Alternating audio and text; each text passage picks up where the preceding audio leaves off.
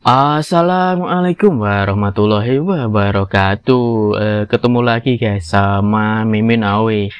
Kali ini Mimin akan mereview chapter 33 Dari manhwa Divine Immortal Doctor.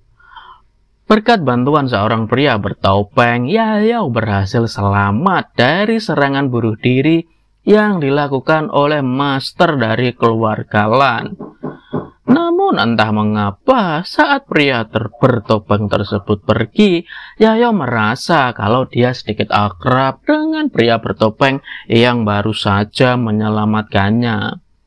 Zili sendiri berpikir kalau tidak ada orang dengan kekuatan seperti itu di kekaisaran Bayan.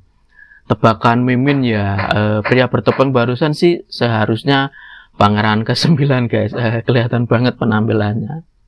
Sementara itu, anak buah Yayo tergeletak tak berdaya sembari memeluk bis penjaga. Dia sedikit memelah dan memohon agar ada orang yang bersedia membantunya. Yayao masih saja tak bisa berhenti untuk penasaran. Kenapa pria bertopeng barusan menyelamatkannya?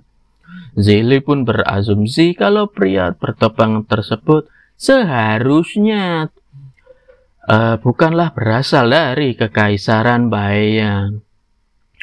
Saat sedang asik berbincang, tiba-tiba Zili merasa kalau ada orang yang mendekat ke tempat mereka berada. Orang tersebut ternyata rombongan putra mahkota. Dan mereka meminta agar Feng Yo menyerahkan buah roh api.